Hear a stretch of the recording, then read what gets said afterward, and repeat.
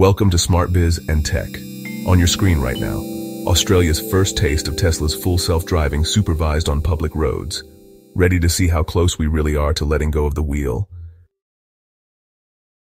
End August 2025. Tesla quietly unlocked FSD, supervised, for select Queensland owners and influencers, the first right-hand drive rollout worldwide. This isn't just a software update. It's the biggest shift in Aussie motoring since the Model T rolled off Henry Ford's line over a century ago. FSD, supervised, is classified as a Level 2 ADAS.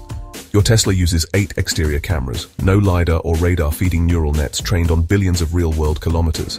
It reads lane markings, signals, traffic lights, merges, even parks itself, all while you supervise with eyes on the road.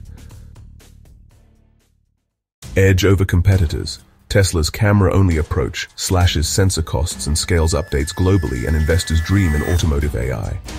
Aftermarket opportunities, mechanic shops, data analytics startups, fleet management platforms all primed for new revenue streams.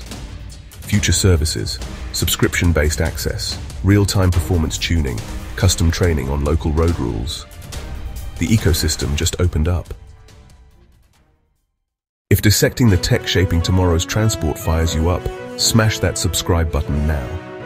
Hit the bell for weekly deep dives on AI, automation, and the business systems you need to stay ahead.